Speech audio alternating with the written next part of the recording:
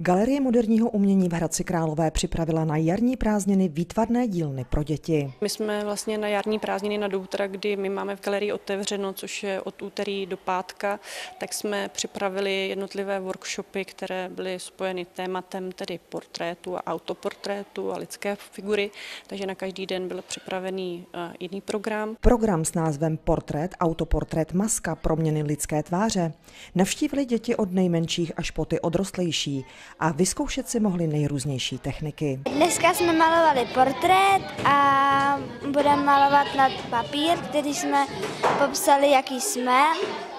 A teďka děláme sochu nějakého, nějaké pózy a z takové hlíny. V těchto dnech vlastně eh, vyzkoušeli eh, od té kresby přes malbu, eh, grafické techniky až po koláž, takže opravdu ty aktivity byly pestré, jinak bylo to spojeno i vlastně s fotografií a ty koláže, které dneska budou tvořit, tak jsou vlastně z jejich vlastních fotografií. Galerie moderního umění připravuje nejrůznější programy pro děti od mateřských škol až po středoškoláky. Aktuální nabídku naleznete vždy na webu galerie, tedy na www.galeriehk.cz.